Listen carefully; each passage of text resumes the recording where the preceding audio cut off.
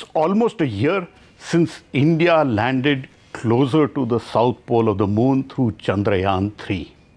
Prime Minister Narendra Modi designated that as the National Space Day. I have with me Dr. S. Somnath, Chairman of the Indian Space Research Organization. Uh, Dr. Somnath, excited to be celebrating landing on Shiva Shakti Point. Definitely, it is one year after the historic event. Uh, 23rd of August 2023 still uh, is a- such a beautiful day for us. The landing of Chandrayaan 3, the Vikram on the near the southern pole of moon, and uh, we are rekindling those uh, spirit, uh, enthusiasm of those days for the next generation of people. What was your feeling on that day, that moment when the feather like touchdown happened? See, this was very much expected. As far as I am concerned, we were hoping that to happen. As I have told, uh, even before the landing, uh, I was presenting this to some of the university students that uh, this time we are going to make it happen.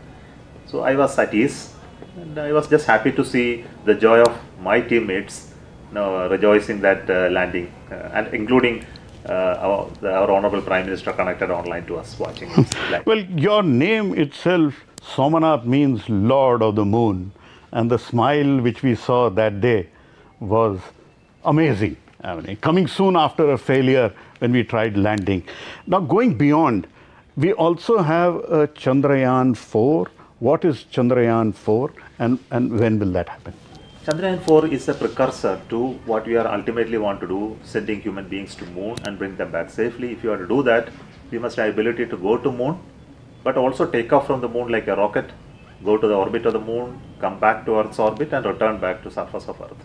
So if this has to happen, we must do it in a scaled model level, which is nothing but Chandrayaan 4. Here, instead of human beings, we are actually sending the craft up there, collecting samples from the moon surface and bringing back, which will have a scientific no, purpose also.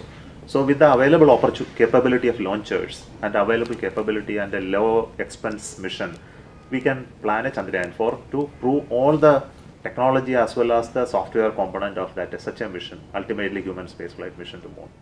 That, what will, is Chandrayaan 4. that is what Prime Minister Narendra Modi envisages by 2040. 2040, yes. So we have to do it in another two years to prove the precursor of such a capability so that we will be preparing for a big scale uh, for the manned mission. And we also have in between a mission with Japan.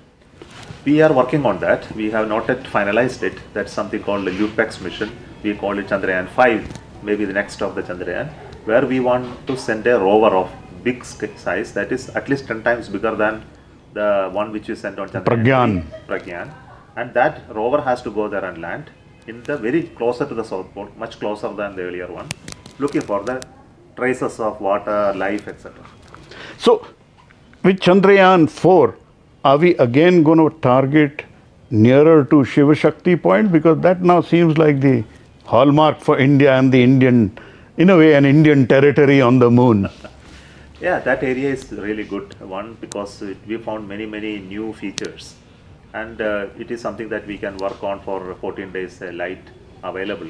Uh, it has more scientific observation capable reasons for going there.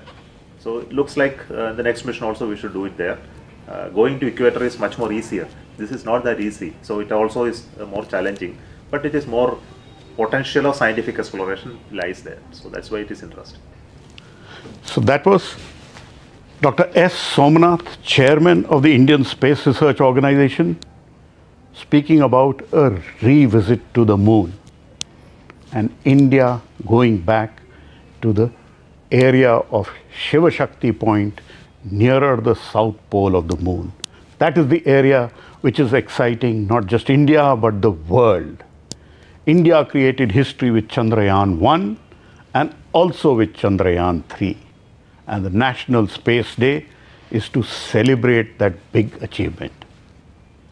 With camera person Azam Siddiqui in New Delhi, Pallav Bagla for NDTV.